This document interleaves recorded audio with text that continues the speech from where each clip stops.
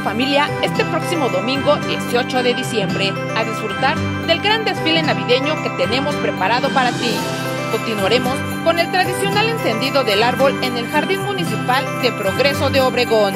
Te esperamos a partir de las 7 de la tarde.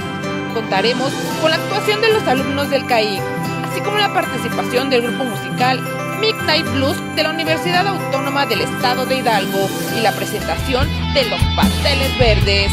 Ven a Progreso esta Navidad. Juntos, haciendo historia. Gobierno Municipal de Progreso de Obregón.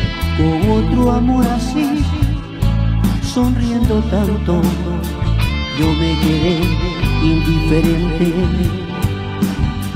Lo que hubo